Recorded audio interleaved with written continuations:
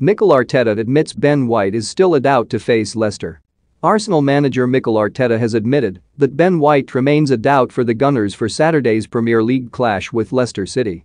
White was forced off early in the second half against Leeds in the Carabao Cup in midweek, having been suffering from the sickness bug that has affected a few players in the squad.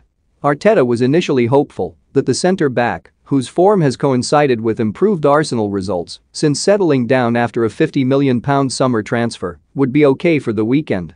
But when he addressed the media on Friday, the boss explained there is still some doubt.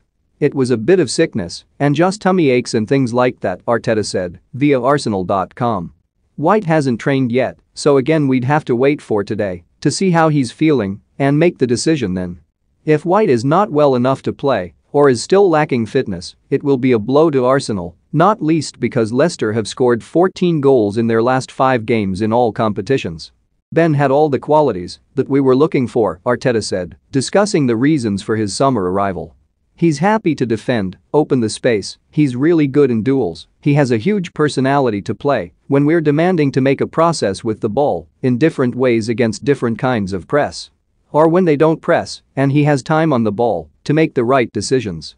He has the anger, and I really like his character as well when I met him, and that's when we made the decision to sign him. Arteta also revealed that a handful of players are carrying knocks ahead of the Leicester game, although he refused to name them.